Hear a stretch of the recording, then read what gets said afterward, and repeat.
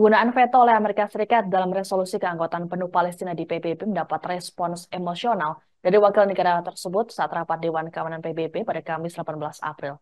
Sebagaimana diketahui, Amerika Serikat jadi satu-satunya negara yang menolak Palestina jadi anggota penuh PBB. Padahal, mayoritas anggota DK PBB menyatakan setuju Palestina mendapatkan keanggotaan penuh.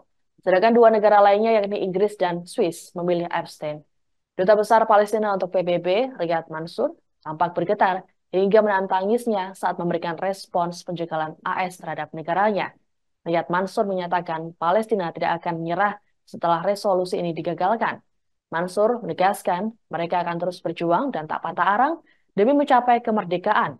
Pernyataan dari Mansur ini pun sempat membuat perwakilan Malta yang jadi ketua unit tersebut ikut meneteskan air mata.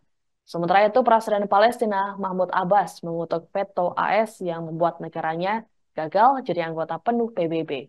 Abbas menyebut tindakan tersebut tidak adil, tidak etis, dan tidak bisa dibenarkan.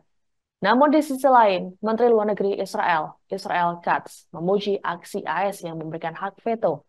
Dalam akun media sosial X, Katz mengatakan Palestina pantas mendapatkan tindakan ini. Ia lantas menyinggung peristiwa penyerangan oleh Hamas pada 7 Oktober lalu. Menurutnya, DKPBB gagal mengutuk kejahatan keji yang dilakukan oleh Hamas. And you will not find a people who have a stronger desire to live an ordinary life like our people in Gaza. Gaza of pride, Gaza of glory.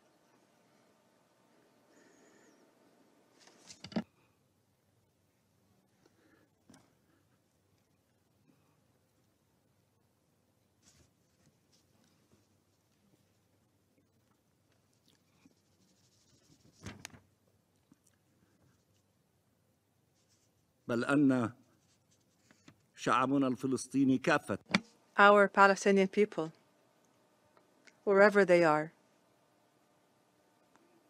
want life. They cling onto life.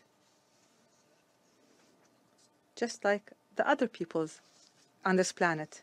The Palestinians are a people who aspire to freedom, to a dignified life, to a peaceful existence.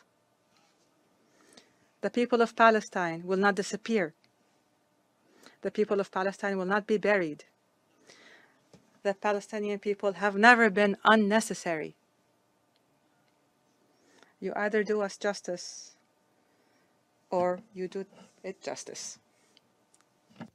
We love life, to live in freedom and dignity in our national homeland. We will not disappear.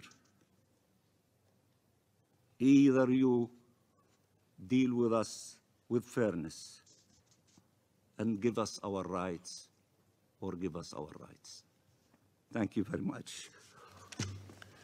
I thank the permanent observer of the And you Download Tribun X sekarang.